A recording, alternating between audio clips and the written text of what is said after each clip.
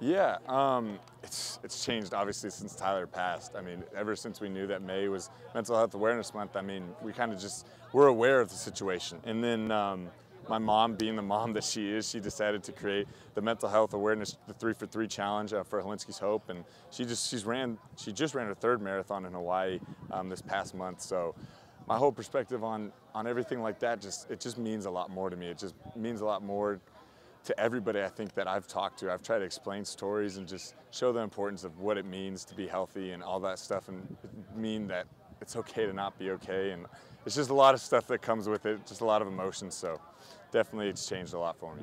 I think uh, mental health amongst college athletes in particular. Seems Farrell. Something Sorry. that's maybe talked about more. Yeah. I think it's still talked about enough. It, it needs to be talked about more. NCAA needs to do something about it. Um, I think I think it's just becoming too big of an issue, and I think we need to figure something out. Um, but the good thing is, I think we're talking about it more. Obviously, it comes at the expense, the sadness, the tragedy of, of those six female student athletes that recently passed away.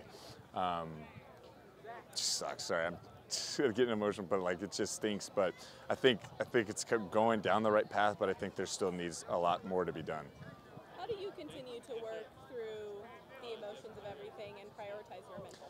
Yeah, I mean, um, I try and experience every emotion that comes. You know, I, I, don't block anything. I don't let anything get away from me because you know I want to be the strong guy or anything like that. Um, I just it just helps too when you got two great parents like my parents, and it helps too when you talk about it with other student athletes. Um, and when they want to talk about it with you too, it just shows that they care. It shows that it's important, uh, and that that helps me manage all of the emotions and cope with a lot of things I think you said it there, but we don't necessarily talk about these things yeah. until something tragic happens. Yeah. Obviously, Hilinski's hope was created out of something tragic. Right. But looking back at all the good work that you and your family have been able to do, what do you yeah. think it's done for Tyler's legacy and how he's helped maybe others?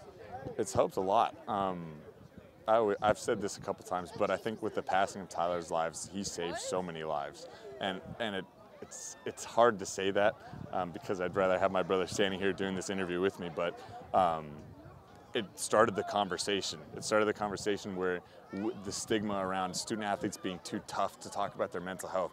No, man, you're a human being. You go through a lot more than the average human being on a daily basis, and you got a lot more stuff going on in your head. You got to talk to somebody about it. So I'm thankful, obviously, for Hilinski's Hope.